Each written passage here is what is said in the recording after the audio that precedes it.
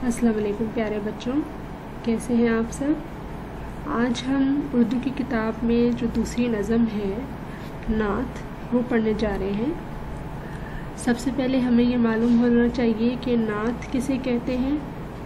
तो बच्चों, जिस नज़म में हज़रत मोहम्मद सल्लल्लाहु अलैहि वसल्लम की तारीफ़ बयान की जाए, उसे हम नात कहते हैं।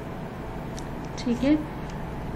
पहले हम यहाँ से इसकी रीडिंग स्टार्ट करते हैं और साथ साथ मैं आपको मुश्किल अल्फाज बताती जाऊँगी। आप अपने पास इसको अंडरलाइन करते जाइएगा। रसूल हाशमी सल्लल्लाहु अलैहि वसल्लम, तुम हो। हबीब किब्रिया, तुम हो। हबीब किब्रिया यहाँ पर दिया हुआ है, जिसको हम देख सकते हैं। हबीब किब्रिया लिखा हुआ है। आप अपने पास भी इसको अंडरलाइन कीजिएगा।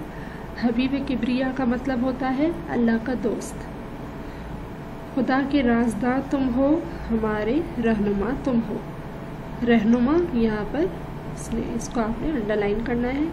रहनुमा का मतलब होता है, रास्ता दिखाने वाला। फिर उसके बाद इस लाइन पर आ जाइए। मोहब्बत और सदाकत की हमें तालीम दी तुमने। अलम बरदार रहमत हो हबीब किबरिया तुम हो। अलम बरदार। अलम बरदार यहाँ पर एक ही हम देख सकते हैं कि एक मुश्किल अल्फाज में आ रहा है। इसको आप अपने पास अंडरलाइन कीजिएगा। अलम बरदार का मतलब होता है झंडा पकड़कर चलने वाला। अलम का मतलब होता है झंडा। बरदार का मतलब होता है पकड़कर चलने वाला। तो अलम बरदार का मतलब क्या हुआ? झंडा पकड़कर चलने वाला या झंडा पकड़कर चलना। इसके बाद आप इस लाइन पर आ जाइए। तुम्हारे खल्क की खुशबू से दो आलम महकते हैं। तुम्हारा हर अमल प्यारा, खुदा के दिल रुबा तुम हो। दिल रुबा, यहाँ पर आपने अंडरलाइन करना है। दिल रुबा का मतलब है दिल को भाने वाला। तुम्हें कुरान में कितने लकब अल्लाह ने बख्शे। कहीं शमसुजुहा तुम हो, कहीं बदरुद्दुजा तुम हो। यहाँ पर आपने इन दो वर्ड्स को अंडरलाइन करना है। शब्जुहा ये आप देख सकते हैं, नया वर्ड है, आपको इसका मतलब नहीं पता। ये एक मुश्किल अल्फाज है, आपने इसको अंडरलाइन करना है। शमसुजुहा इसका मतलब होता है रोशन सूरज। और यहाँ पे बदरुद्दुजा बदरुद्दुजा का मतलब क्या होता है? स्याह रात को रोशन करने वाला। आपने बदरुद्दुजा और शमसुजुहा को अंडरलाइन करना है अपने पास।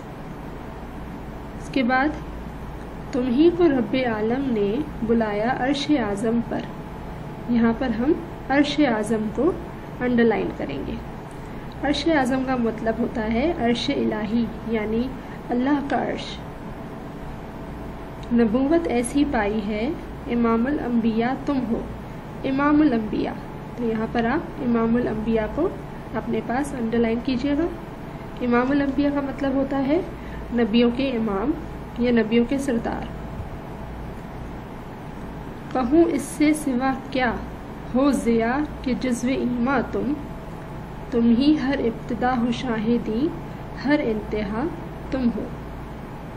ठीक है, अब हम एक दफ़ा इसकी रीडिंग कर लेते हैं।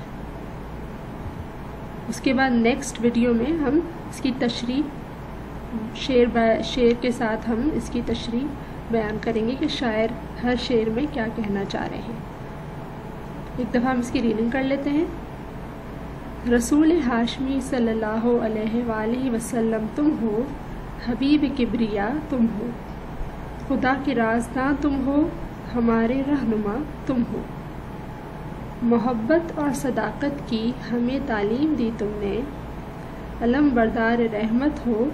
हबीब किब्रिया, तुम हो। तुम्हारे खल्क की खुशबू से तो आलम महकते हैं। तुम्हारा हर अमल प्यारा, खुदा के दिल रुबा तुम हो।